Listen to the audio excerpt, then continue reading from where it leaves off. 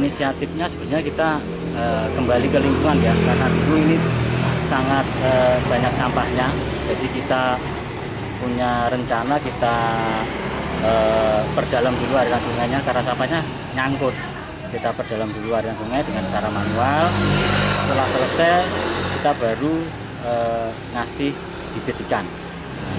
Nah, jadi semua ini dikelola oleh pemuda pinggir kali jadi kita semuanya dari mulai bibit terus uh, untuk sekat karambanya kita swadaya semua